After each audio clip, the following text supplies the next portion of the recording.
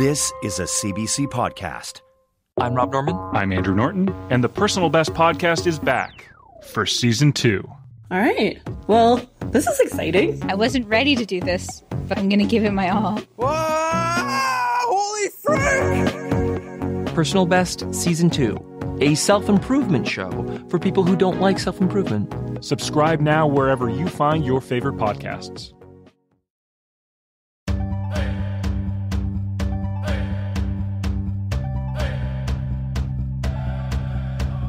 Tansi, Anin, Bonjour, hello, and welcome.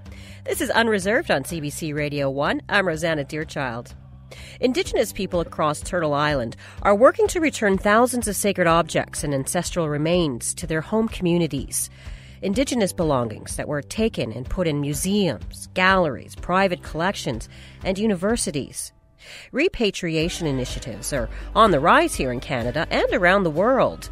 To repatriate something is to return it to its place of origin, to give it back to the nation and to the people that it came from.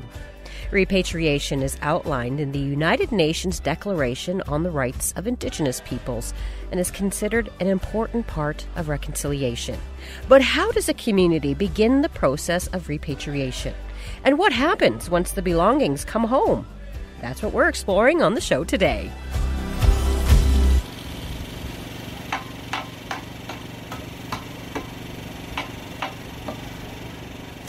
That's the sound of a monumental totem pole outside the Royal BC Museum in Victoria coming down. It's one of two totem poles that had undergone recent structural assessments and were found to be at risk of falling over. Just a few weeks ago, the first one came down and will be sent to the community that inspired its creation. The Royal BC Museum is doing more than repatriating these two totem poles.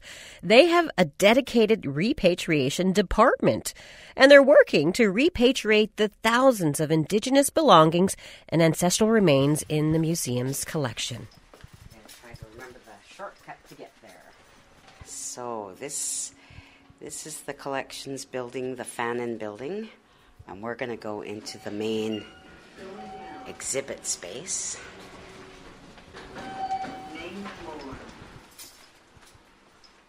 My name is Luann Neal. I am from the Kwakwaka'wakw people of northern Vancouver Island, and my role here at the Royal BC Museum is repatriation specialist.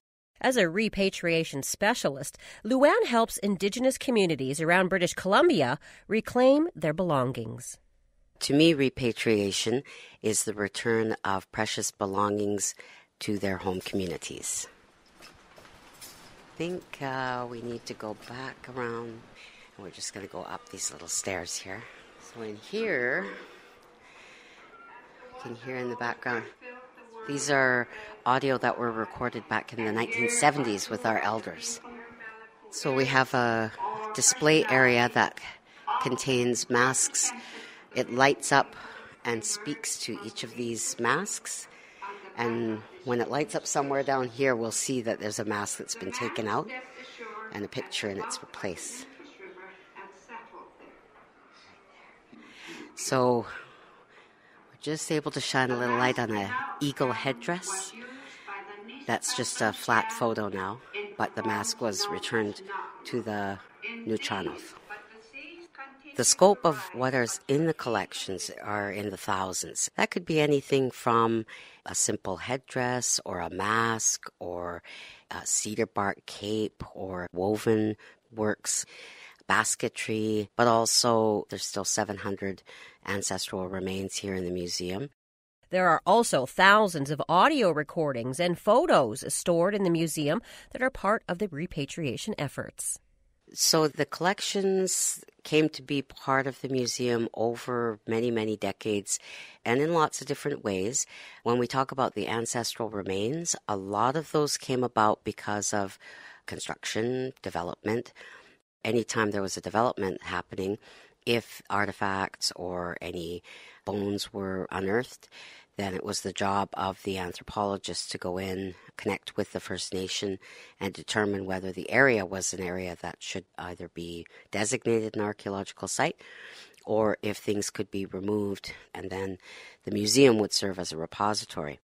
The Royal BC Museum doesn't have many pieces that were confiscated during the potlatch ban, but other museums around the world do. The potlatch ban, also known as the potlatch law, was part of the Indian Act. The ban lasted for decades, from 1884 to 1951. The ban made it illegal for Indigenous nations to practice the potlatch, which was the foundation of social, political, legal, spiritual, and economic systems.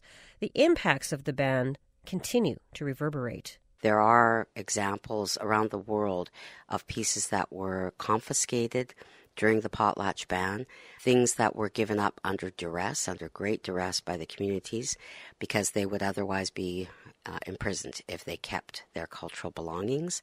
So they gave them up, sometimes to Indian agents, sometimes to other representatives of government, and other times to private collectors, adventurers, and pioneers who just went out there and started taking things. Returning these belongings to their home communities is a process. The process, which is developing as we go for repatriation, usually involves the nation usually contacts us first to ask, do you have anything that belongs to our nation? And so what we've been doing is making sure we're organized and have a sortable database. We're still very much in the thick of that. So the community identifies any cultural belongings that might come from their area and they let us know that they're interested in repatriating them. What we do from there is we have to go through a process of clarifying with the community who actually has the authority on behalf of the community. And it's not something that the museum dictates to the community. It's us just saying, you let us know who your authority is. Is it your cultural center? Is it your First Nations band administration office? Is it chief and council?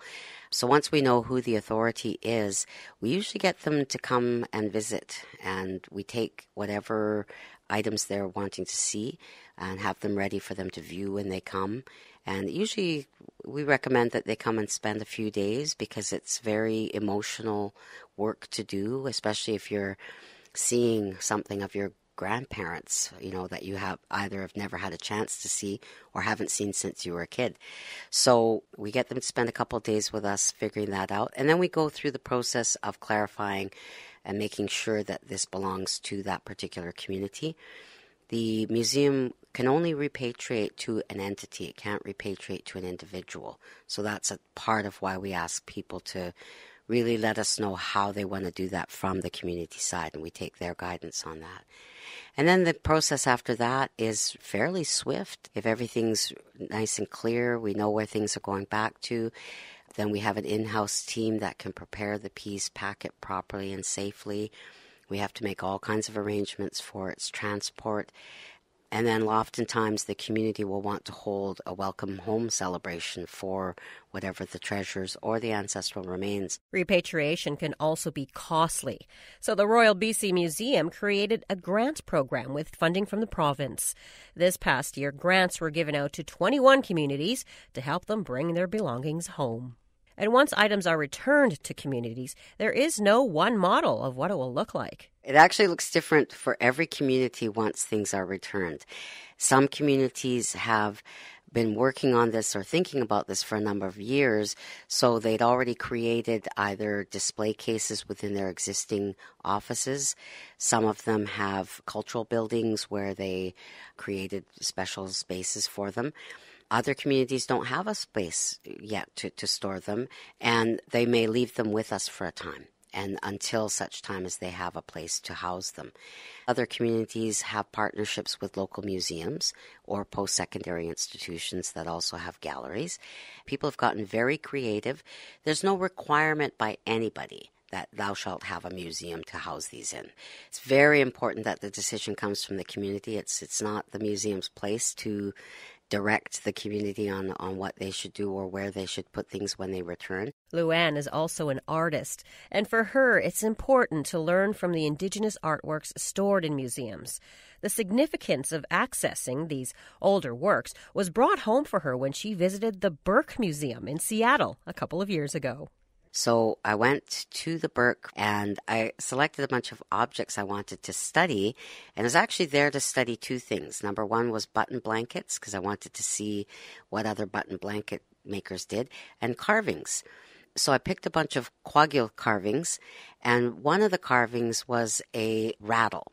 And the curator put on this table all of the carvings I had selected and this rattle just seemed to keep calling to me. And I had it off to the side, and it, it was going to be the last piece that I looked at because I was interested in the way it was carved. And it just kept calling and calling to me. And so finally, I put down the other pieces that I was looking at, and I, I looked over at the rattle and I said, Fine, I'll pick you up then. So I went over and I picked it up and I shook it a little bit, and I really liked the sound. And then I kept looking around and studying all aspects and all angles of it. And then at one point I thought, you know, if I was going to carve a rattle, I think I'd carve it exactly like this. So I asked the curator, can you get the, the information card uh, and tell me who made this rattle? And so he went in the back and came back and he said, uh, yeah, that was made by John Neal. Well, John Neal was my dad, and I actually never met my dad. He passed away before I, I got to know who he was. And, and both of us just stood there, you know, with those wide as saucer eyes going, do, do, do, do, do, do, do. This is spooky, but in the most amazing kind of way. And so to me, it was, this energy. It's about energy. When you're an artist, you put energy into your pieces um, that's why we're always taught that when you do this work, you know, do so with, with good energy, because yeah, your energy is going to stay with that piece. And I, I like to think that my dad was uh, just sharing a little bit of energy with me that day and uh, encouraging me. So that connection, I know, I, I experienced it, so I know that I want other artists to have that opportunity. For Luann, it's about access, about the importance of community members being able to connect with their belongings. On the one hand, I do like the idea of some of our pieces staying in museums. When I put on my museum hat, though, I look at our policies around access. And this is something that uh, this museum has made a commitment to in its strategic plan around ensuring that access is uh, open and that we have ways to ensure that artists and community members and owners of these pieces always have access. Accessing the museum is something very familiar for Luann. She's been coming to the Royal BC Museum since she was a kid. After her family moved from Alert Bay to the Victoria area, the museum gave her a feeling of home. So, the area that we're going into right now is the Jonathan Hunt House. This is on the third floor in the First People's Gallery. Three floors up, right in the in the prime real estate of Victoria, is this big house. This is one of the places I used to visit the most when I was little, because this is what we have in Alert Bay, and to me, everything, all of our business that we do, takes place in these houses, and it just gave me that connection and it just felt like I was at home. It brought me back to Alert Bay. I missed Alert Bay, um, but I also love Victoria. So to me, it was having the best of both worlds. Even on days when I'm here at work and I feel like, okay, the paperwork's getting to be a bit much, I just need a timeout, I'll come here. To me, it feels like we're, we're walking back in time a little bit. It's a cedar planked house which uh, has a fire pit in the middle built exactly the way we would have built it in our, uh, and we still do build them in our home communities. On the one end, uh, which we call the front of the house, is where the singers have a log drum, and then there are four house posts that are carved in the origin stories of the family. So one of the posts, for instance, has an eagle uh, at the top and then a bear at the bottom holding a another baby bear and uh, another one holding a killer whale uh, with an eagle and a bear. And then there's two of our larger masks that are, are often danced at a potlatch. These are on display here in this space as well. And the whole space is made out of western red cedar, so the just the aroma of the cedar brings me back home. I think it's this feeling of the longevity of our people. I think that's my biggest emotion that I get from here that we've been here an awfully long time. And no matter what any anthropologist or archaeologist says, our legends, our origin legends, talk about us being here from the beginning of time. So it always makes me feel like I'm grounded, I'm rooted, I'm from here, and there just is no other place on the planet for me but here. There is a complexity to repatriation, to where the belongings are housed. And as for Luann, these are questions for each community to engage with in their own way, because repatriation matters, whatever form it takes. I think repatriation is important for a lot of different reasons. What I've seen and what I've heard people talk about is about the healing. And part of that healing isn't just the knowing that your ancestors are home, it's that things that communities have been saying for a long time has been largely dismissed. And so it's a very validating process and, and it returns things that the, the culture. It returns the tangible cultural heritage items and the intangibles like the songs, the legends, and the stories. It returns all of those things back to the community to restore the culture that was outlawed for so long. And the culture itself and the arts are themselves healing entities within the communities. So you know, we're not all having to go elsewhere to find our healing. It's right there in our communities and then so close to everyone's hearts.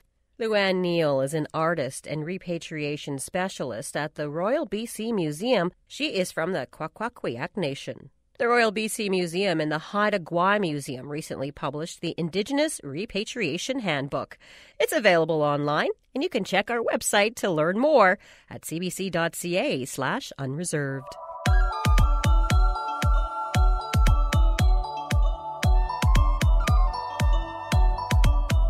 This is Unreserved on CBC Radio 1, Sirius XM 169, and Native Voice 1. I'm Rosanna Deerchild.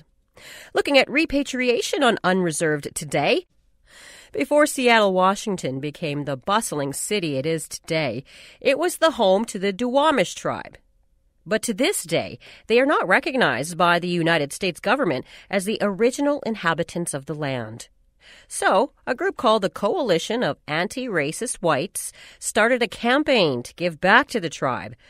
Real Rent Duwamish is a program that allows Seattleites to pay a monthly rent to the tribe for living on their land.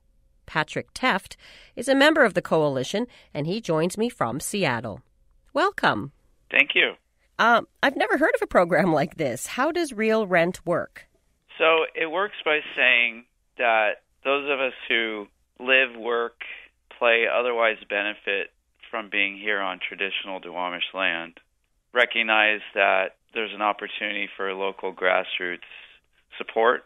And for those who are able to, in a financial way, to contribute um, support to the Duwamish tribe, they can become part of Real Rent Duwamish and contribute either a monthly or quarterly any kind of regular contribution via realrentduwamish.org. And most importantly, um, that creates a regular, predictable, and sustainable source of income for the tribe with essentially no strings attached. The tribe is able to use the money exactly as they determine. Where did the coalition get the idea for this initiative?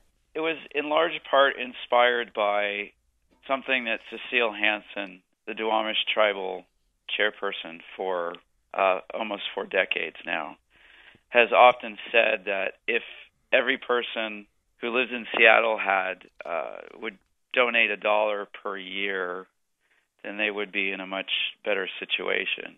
And then one of the volunteers had a dream and shared it with the group. Then a number of years later, it, it, it took some kind of getting getting going and organized. But with the tribe's blessing and the leadership's approval, then launched its uh, Indigenous Peoples Day in 2017. Wow, that's amazing. Dreams do come true.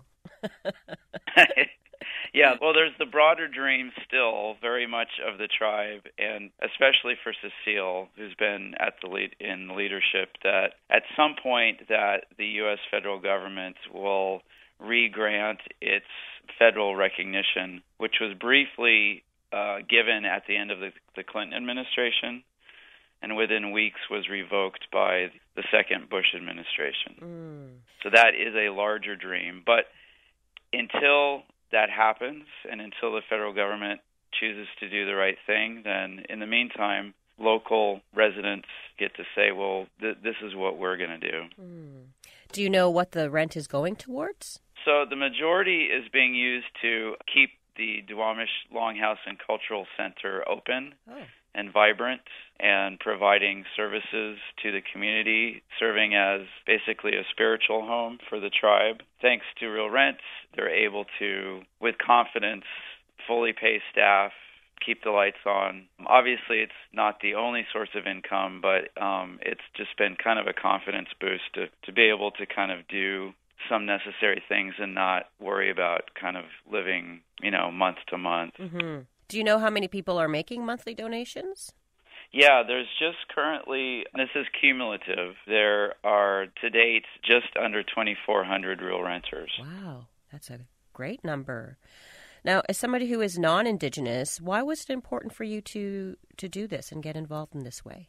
So I first got involved because I realized that I had been living, working, and benefiting from living on Duwamish land, being in Seattle, obviously the traditional, well known leader, historical leader of the tribe. And I knew virtually nothing about the local history. So it was partly my way to get involved and get to know, and then also just to begin to develop some relationships with local leaders. Mm. Do you feel like it's changed you as a person and how you perceive Indigenous people? Uh, yes.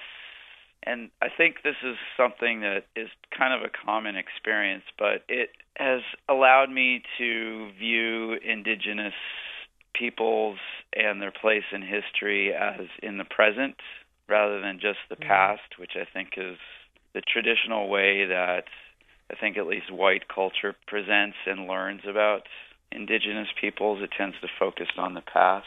And I'm now fully engaged in, you know, how they are and deserve to be part of the local, the present, and the future. What message do you hope that this uh, initiative sends to the rest of Seattle? Well, I think it welcomes more and more people to become aware of, um, in particular, the Duwamish tribe's unfortunately not unique situation in that um, they've been fighting for 160 years plus to be granted officially the recognition that was promised to them in the um, Treaty of 1855. I hope more and more local people, you know, obviously build their awareness around that, and then that it welcomes people to be part of a local solution to support Chief Seattle's and the Duwamish people. Thank you so much for your time today, Patrick. You are welcome. Thanks so much for your interest. That was Patrick Teft from the Coalition of Anti Racist Whites, a group that started the Real Rent Duwamish Initiative, which allows people to pay rent to the Duwamish tribe, the original inhabitants of Seattle, Washington. Jolene Haas is on the receiving end of Real Rent Duwamish. She's a tribal member and works for the tribe's longhouse, she joins me from Seattle. Welcome, Jolene. Hi, thank you. What was your response when you heard about the Real Rent Duwamish initiative? Well, um, I was intrigued and I was also a little confused because I wasn't sure what real rent meant. Um, what was the meaning behind it? And then I, I learned more about what the intention was and it became quite clear to me that this was sort of an act of reparation. So then, you know, the word rent struck a chord with me because everybody in here in Seattle pays really high rent and and I and I thought it was a very clever way to get people uh, engaged in, in the um, social justice issues around what's happened to the Duwamish and their federal recognition and the lack of um, what's happened with our treaty rights. Do you know how long the initiative has been going on now? So it's been almost a little over two years, and it's been quite a thing. Yeah, it's a really amazing initiative. Do you know how much approximately the Duwamish get from this initiative? Well, we have over 2,000 regular contributors to Real Rent, and that fluctuates. And sometimes people give one time, and also people give recurring payments. So it goes up and down. I think that, you know, people give $10. Some people give uh, $18.55 to represent the 1855 treaty of the Point Elliott Treaty. And then there's some, some bigger donors, but those aren't regular. But anything we get, it's such a shocking thing to us every month when we receive a check. So it's, it's very humbling experience. Mm, so it varies the amount. Yes, it varies. And what has the tribe been able to do with the money? Well, we've been able to do a lot. We we used the money right away to engage in um, some better advertising um, to get people to visit the Duwamish Longhouse and learn about what we're doing. We're we're working on some of the deferred maintenance on our building. It's been 10 years since we opened. You know, our budget to operate basically just co- covers the basic operation costs. So this has allowed us to do all kinds of great upgrades to our building, which is which was really needed after 10 years. In terms of the um, real rent initiative, do do some of your renters come and visit you in the longhouse or? Yes, in fact, we have a yearly, right around um, the launch anniversary, we have an open house and a thank you celebration for the real renters, and we had one last year that was very successful. We had over a hundred real renters come, and we provided lunch and wanted to acknowledge them for supporting us, and we will continue to do that this year as well. Well, thank you so much for taking some time with me today, Jolene. Thank you for asking these questions that I feel are really important. And Absolutely. I think it's a, a great thing what you're doing. So thank you. Thank you. That was Jolene Haas from the Duwamish tribe. She works at the tribe's longhouse in Seattle. Her tribe has been receiving rent from people in Seattle through the Real Rent Duwamish initiative.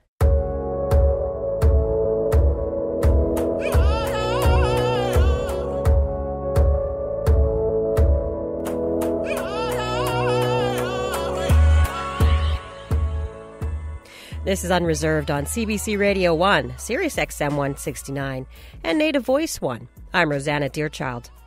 Earlier this year, it was announced that the National Museum of Scotland will repatriate the remains of two Beothuk people to Canada. The Beothuk were originally from Newfoundland, which is where Mi'kmaq chief Mi'sel Joe from the Miawpukek First Nation in Conne River would like to see the remains end up. I think they should finally go back to uh, where they were uh, taken from. Uh, how that unfolds, I'm not sure. But my understanding, the federal government have made a request to have the remains brought back to Canada. So the first thought would be uh, the National Museum. And then from there, I guess everybody will have to come together and find out and work together to find out where and how those remains will be put back on the land. I don't think it's going to be a burial site. We don't want that to happen, to have them disappear again. Those, those skulls have been gone for since 1828, and it's a long time, and we want them brought back to this uh, to this country from where they were taken, but we don't want them to put in the ground so they get stolen again. Sharper minds than mine can put together some kind of uh, a monument that'll show that those remains are here and they're protected. Discussions are still in the early stages, so Joe doesn't know where the remains will end up, but he hopes to be included in the decision, along with other Indigenous leaders from Newfoundland. After speaking to the Premier and the other leadership uh, around uh, Aboriginal leadership around Newfoundland and Labrador, uh, we've been told that you know we don't know. There could be a month, could be two months, could be six months. We don't know. That's the problem. It's kind of hard to um, put together any kind of sense of of ceremony when we don't have a timeline.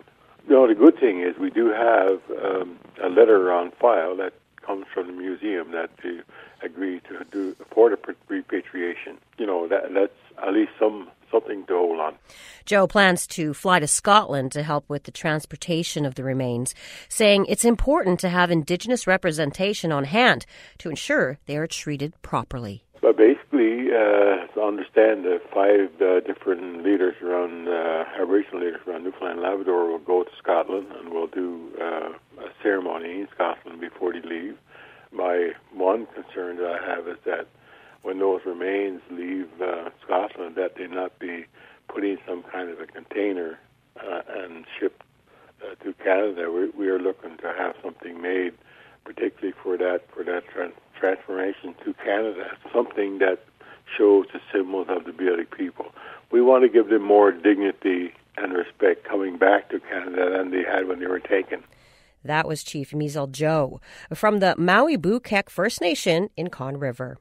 He's part of the team of Indigenous leaders in talks to have the remains of two Beothuk people shipped to Newfoundland. To read more about this story, visit our website at cbc.ca slash unreserved.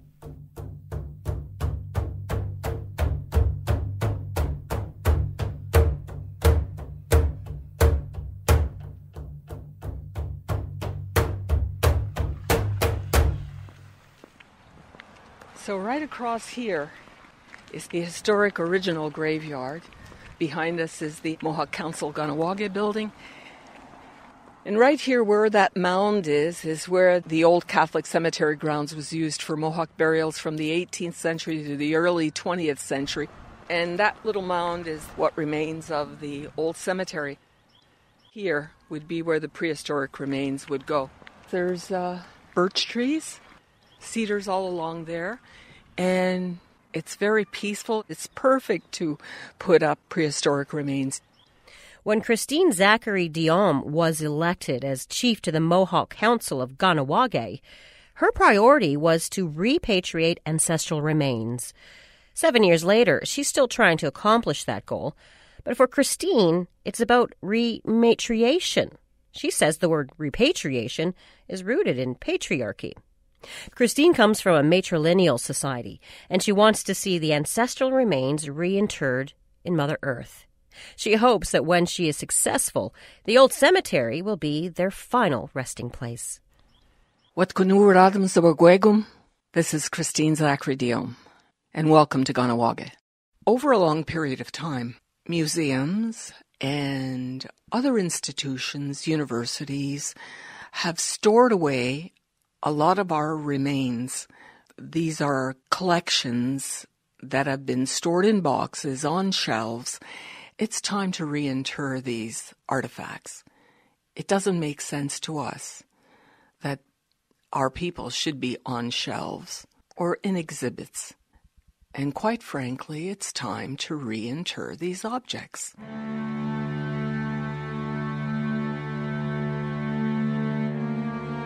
When I first started thinking about ancestral remains has to be back in 1974.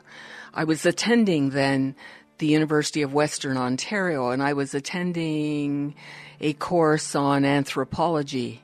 I had been shocked by what I saw that was laid out on file cabinets and that was the skeleton, a female skeleton. It was just lying there, and it happened to have a cigarette hanging out of the uh, skull.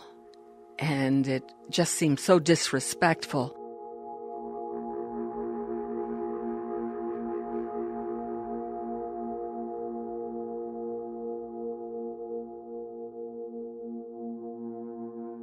It's not something I think my people are accustomed to seeing.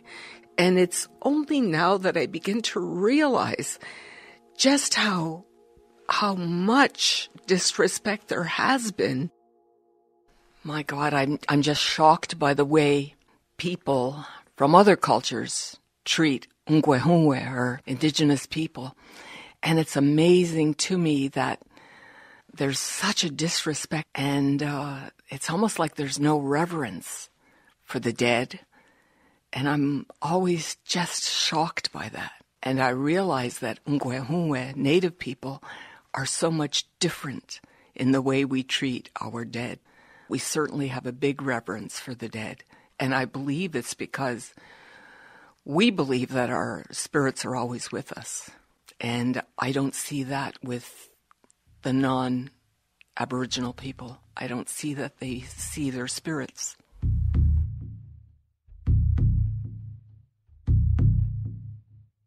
There is a traditional ceremony, and it will be conducted by the traditional people. That ceremony will be a ceremony of Ohgiwe. Ohgiwe is a ceremony for the dead. Our plan is that the ceremony will be held and then the remains will be placed in the land that has been secured just opposite the Mohawk Council of Kahnawake. The plan of the traditional people is to hold the Ohgiwe ceremony so that the remains are properly interred in the land and so that the prehistoric remains are rematriated and so that the remains are at peace.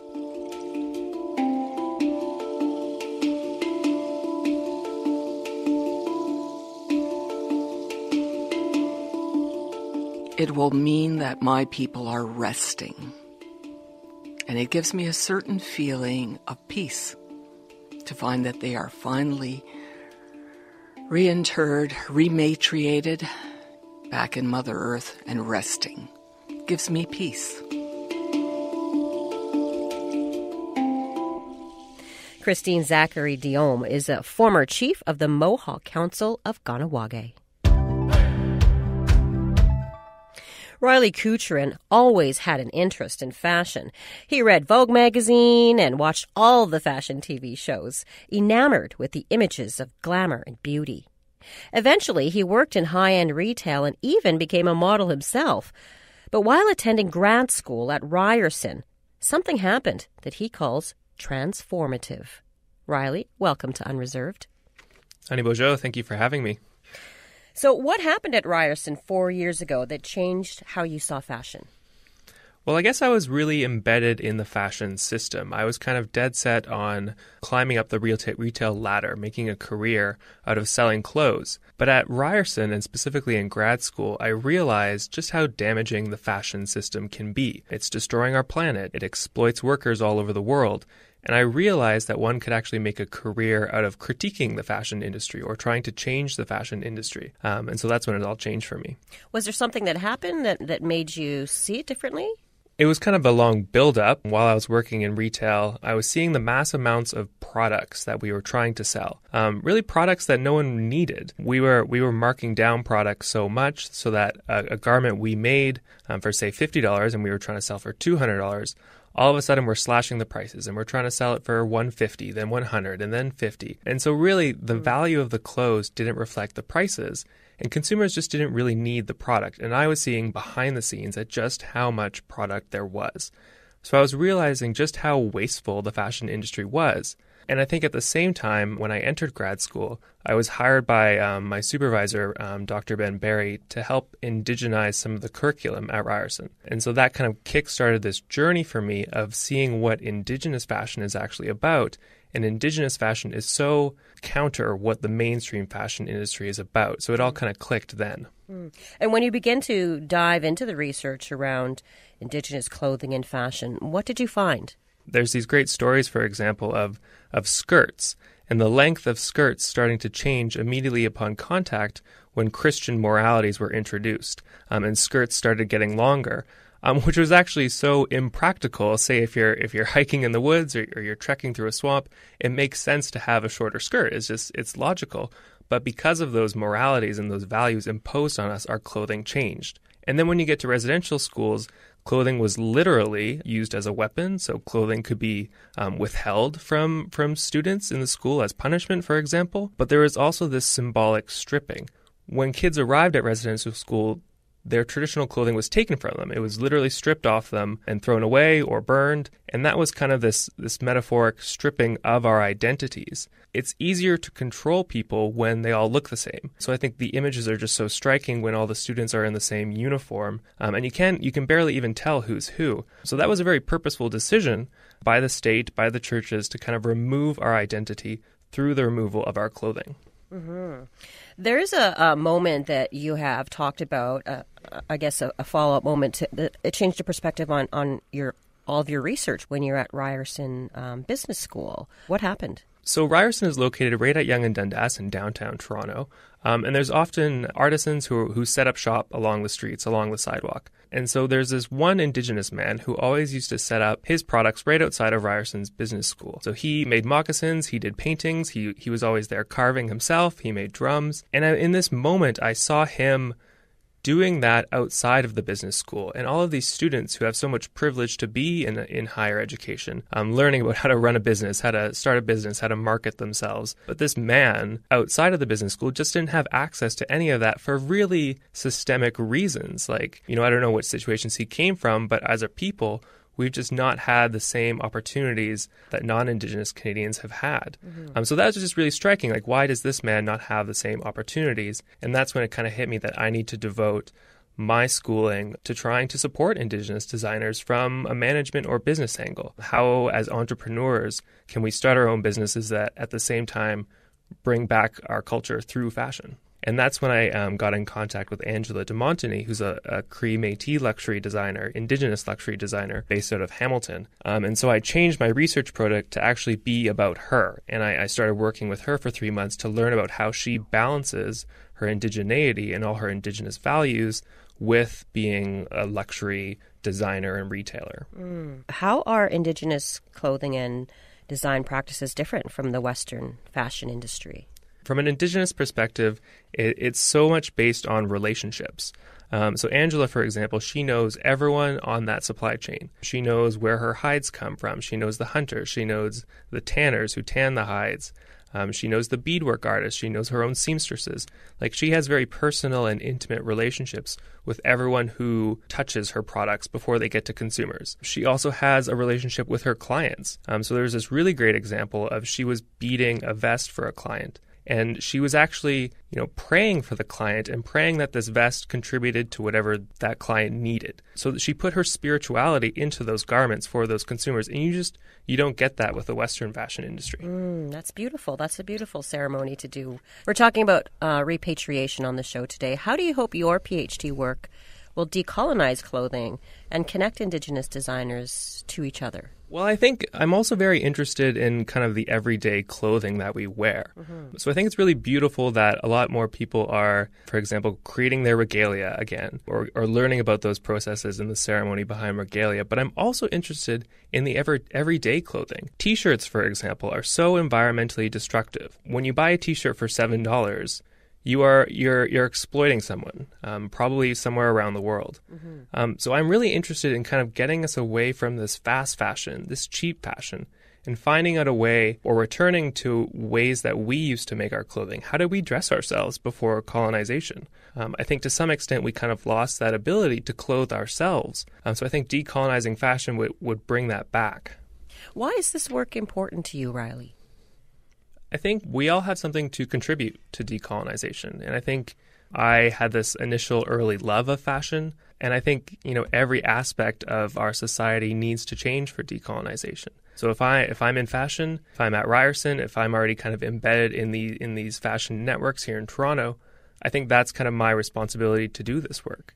Um, I think we talk a lot about um, reconciliation and kind of econ- the economic angle of that, and I think that tends to mean kind of getting Indigenous people involved in resource extraction. And I don't think that's the only way. I think culture can be economic, um, and if we build our Indigenous creative industries, um, that can lead to kind of our own sovereignty. Riley, thank you so much for your time today. Miigwech, thank you so much. Riley Kucheran is a member of the Biigtigong Nishnaabeg First Nation in Ontario and has earned a Pierre Elliott Trudeau Foundation scholarship to work on his PhD.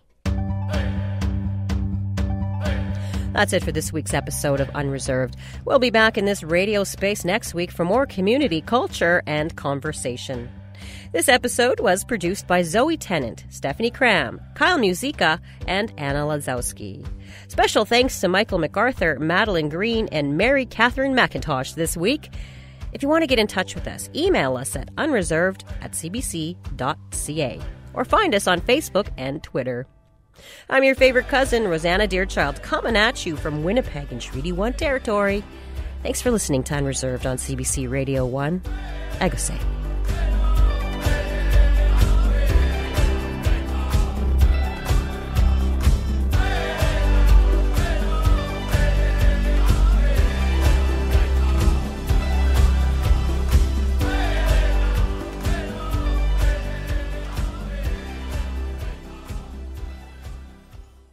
For more CBC podcasts, go to cbc.ca slash podcasts.